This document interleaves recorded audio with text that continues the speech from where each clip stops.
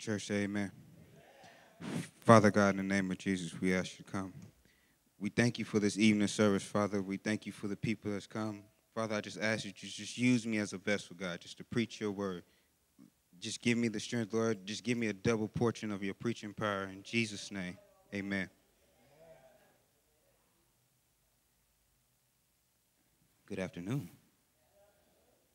Now, I will be coming to you today from Ezekiel chapter 2, verses 6 through 8.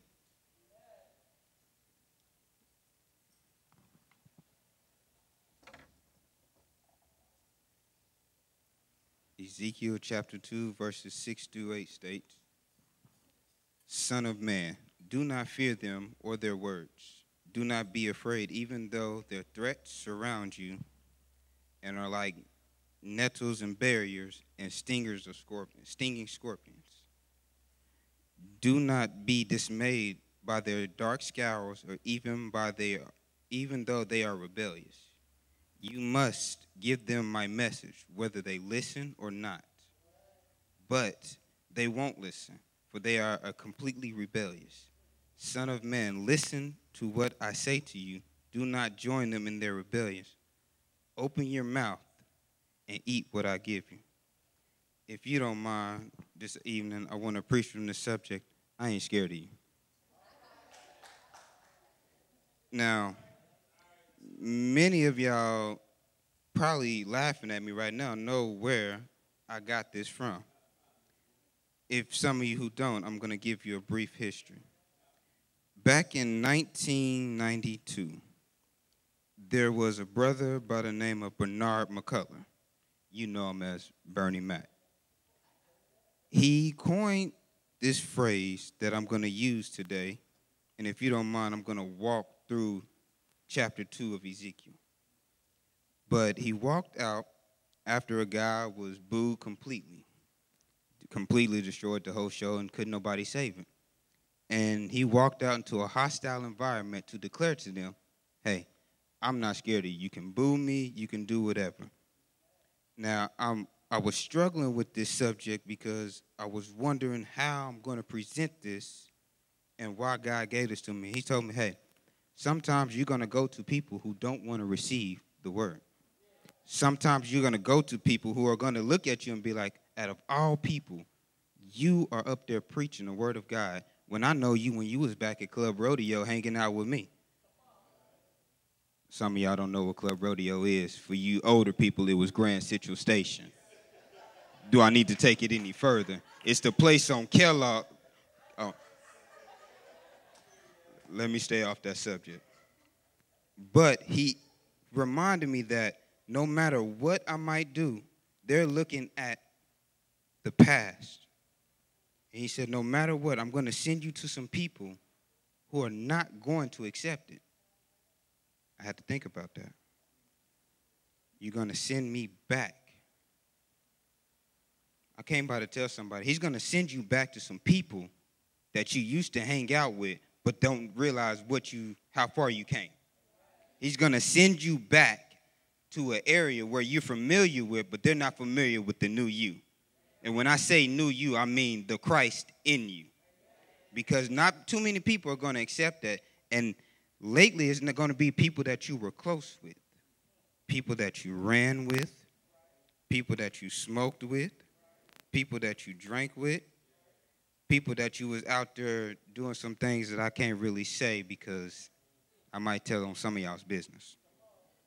But he's going to send you back so that way you can declare God's promise. And one of the things that he said to me is, Son of man, do not be afraid. Do not be afraid. I'm going to say that again. Do not be afraid. And that stuck with me because the Bible states I am with you. It says, I will never leave you, nor will I forsake you. Greater is he that is in me than he that's in the world. So, in other words, while I'm standing here telling you, but yet and still, I'm not afraid of you. I may be, I may look at you and be like, hey, you got something to say? Keep it to yourself. I may stand up here and say some things that might hurt your feelings. Can I tell you something?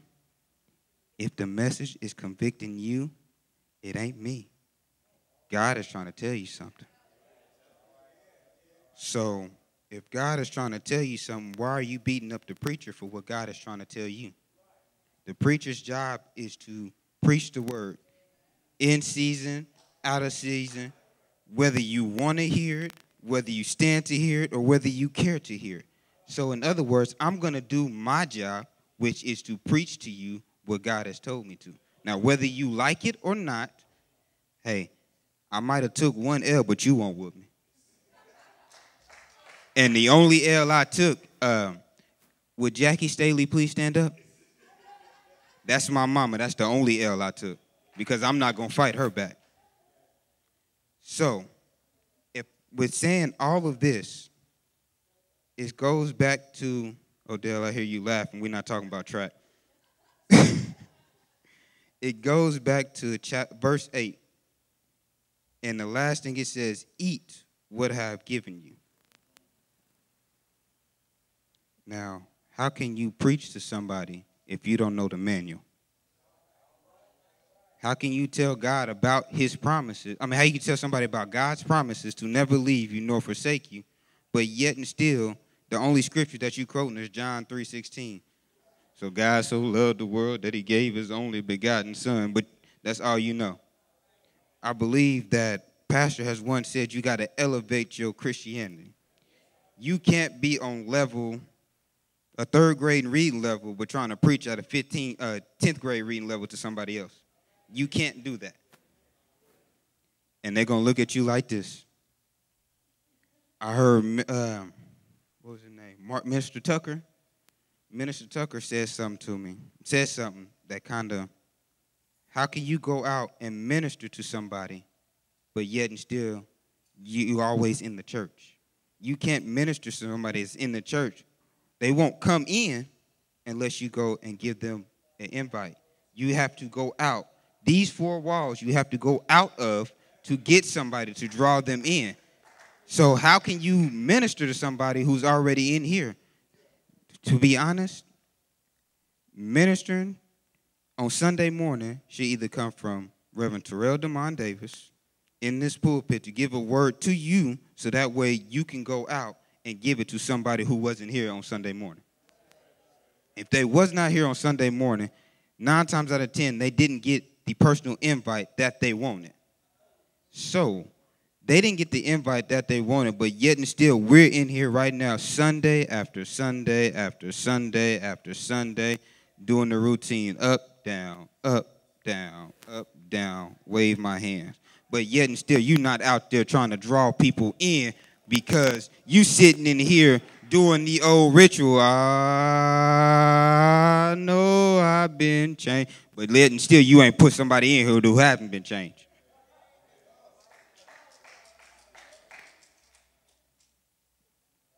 But yet and still, Son of Man, do not be afraid. Hmm.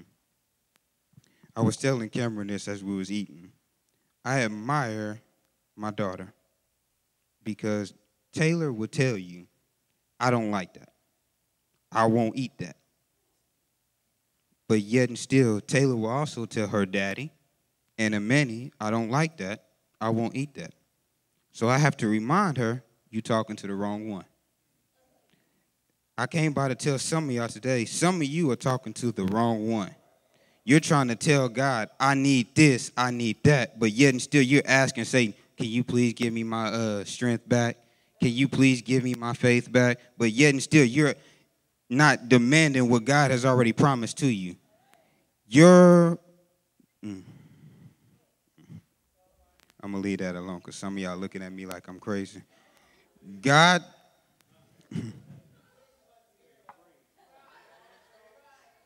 but yet and still, a five year old has enough guts to tell her daddy what she wants.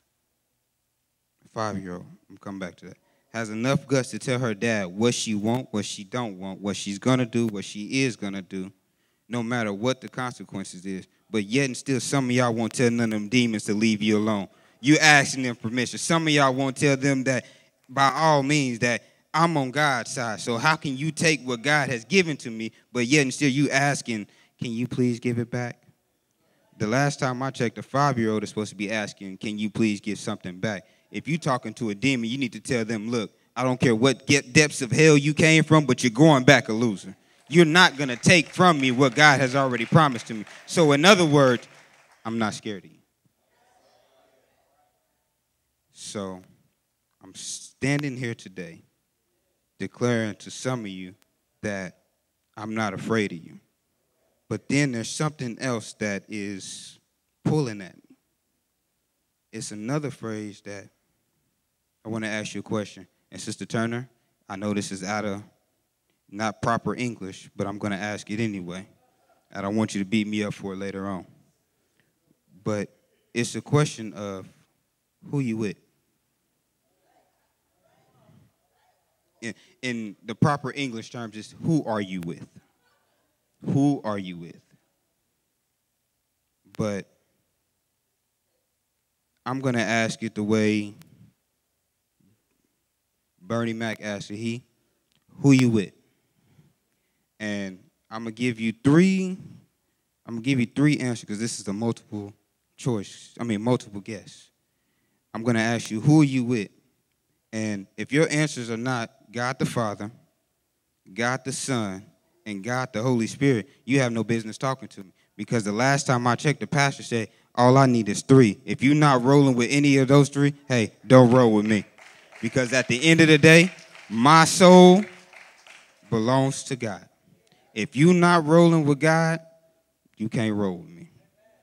Simple as that.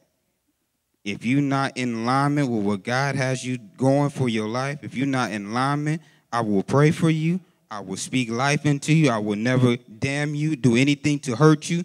But at the end of the day, if you're not riding, there's a door. Bye.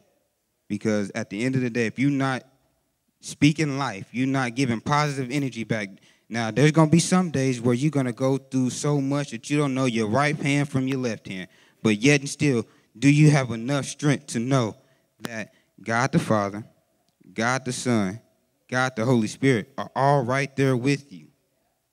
If not, then, like Mama Joy said, three and one. You can't get one without the other. And if you can tell me you can get one without the other, um, mm, Pastor, we're going to have to have another Bible study about that. If they can get one without the other, because I'm going to need you to explain that to me. But at the end of it all, I need about three or four people to actually stand up and declare that no matter what you may go through through your life, no matter how bad it gets, no matter if mama goes home tomorrow, daddy goes home next week, no matter if your kids is acting up in school, no matter if you don't know how to tie your own right and left shoe, you're going to stand up and declare, no matter what, I'm not scared of you. I'm going to say this and I'm going to take my seat. You may be a thorn in my side, a pain in my backside, but guess what? I'm on God's side.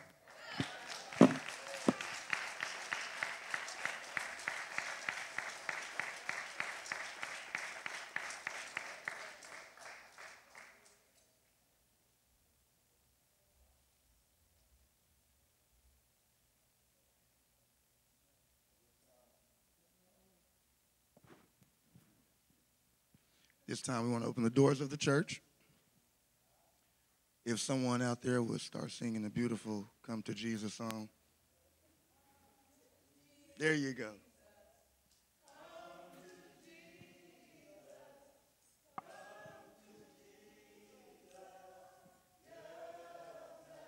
The preacher said, I ain't scared of you. If you do not know Jesus, don't be scared.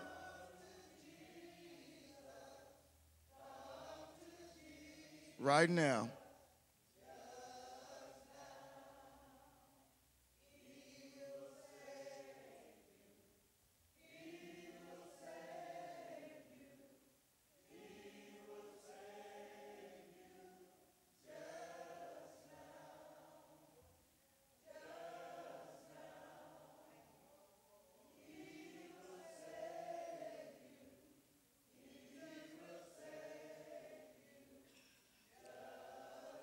God bless you and God keep you. Though none came, there's plenty of room at the cross. Amen.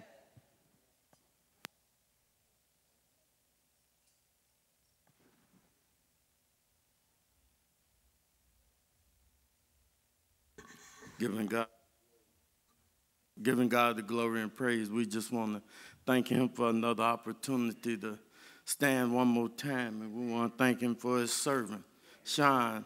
We know that being a minister, being in this light, you can't be scared of nobody because God said if you look on them, don't fear them because the power that's in me is greater than the power in you. So uh, we can't look on you and, and get worried about if you're happy or if you're sad. We have to preach the word like God gave it to us. And sometimes it falls on, on people and it seems like we're picking on you. But I, I can't pick on you because I don't know where you were. I'm not following you around to see what you're doing. The word of God is just whooping you. And when God whoop you, it ain't him, it ain't me, it ain't the pastor, it's the word of God. And that means it's time for you to make a change. So we're going to have uh, Brother Sean come and give his closing remarks. God bless you and keep you.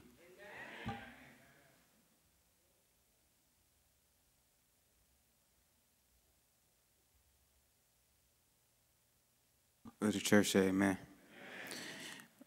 I will uh, say one thing. On Sunday mornings at 9 o'clock, some of y'all have teenagers. Sunday school starts at 9 o'clock. That's all. I'm not going to put out teenagers. I'm not going to put out adults. I'm asking everybody. Sunday school starts at 9 o'clock. Come on in here, Taylor. I see you.